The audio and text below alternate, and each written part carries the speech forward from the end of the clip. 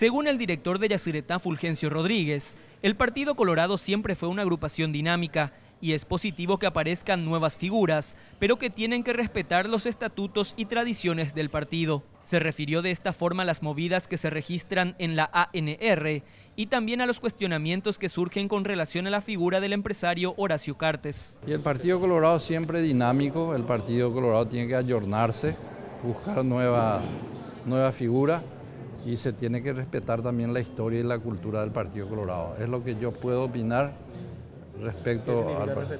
Y respetar la cultura del partido. Claro, hay que respetar. Yo estoy afiliado al Partido Colorado de los 16 años, juntador de silla y de envase.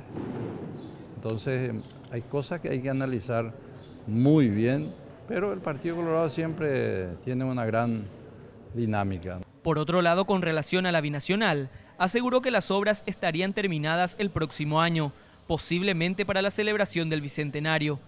También afirmó que no hay ninguna novedad sobre el acuerdo que se requiere en la Cámara de Senadores para su nombramiento.